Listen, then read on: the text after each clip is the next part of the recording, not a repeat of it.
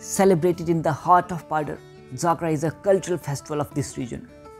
People from all walks of life throng to Gulabgarh Paddar on this occasion.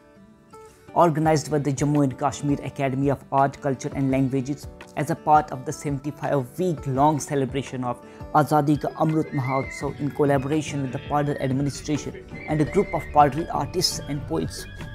Paddar Lok Kala Manch, this festival was a special event this year. Usually this festival begins with the sunset. But this year many cultural items were also made part of it in order to give voice and flavor to the rich culture of Paddar region like Kharz art, Khuri, Shangli dance etc.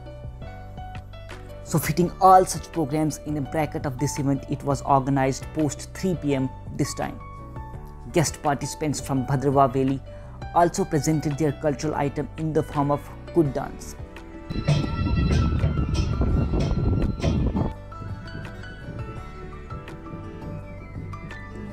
Videos of this festival went viral when uploaded on social media sites. Dr. Jitendra Singh Ji also reacted to the video of Zagra festival posted by the Twitter handle of Padmache. Moreover, Zagra festival is a festival of rituals and cultural extravaganzas. Its legend is as old as the legend of Chandi Mata. It is believed that when the story of the miracle of Ma Chandi diffused from Mindal, Jagratas in the reverence to the sacred deity were performed by the ardent devotees in all the places. Paddar is also such a place and this Jagrata here later on culminated in this festival of Zagra with time, it is believed. And why not it be? Paddar is also an abode of Chandi Mata Machail, right? Anyway, this festival has also glued people to the roots of the culture of this land for years. It has also inculcated the feeling of brotherhood among the people of this land. Sounds of traditional dhols, tones, and rumbling of sacred bells enrich the atmosphere of this place. It is a good time for the one who wants to move further on the path of spirituality. In fact, it is also a time of enjoyment. People enjoy after taking a break from agricultural activities which are at its peak during this season.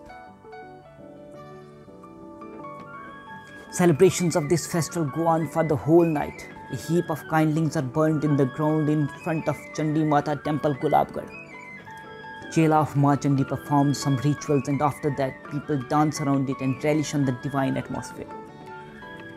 Next morning, wrestling also takes place in the sandy plains of Gulabgarh next to the Chhatargarh Stadium. Like what happened this year, Art and Culture Academy should keep on promoting culture and festivals year by year of such places of the Jammu region which are underdeveloped and not adequately promoted. Further culture tourism should also be promoted in the region by bringing under the radar more festivals from the length and breadth of the valley. In the end, I would like to thank all the artists of who made this festival a grand success.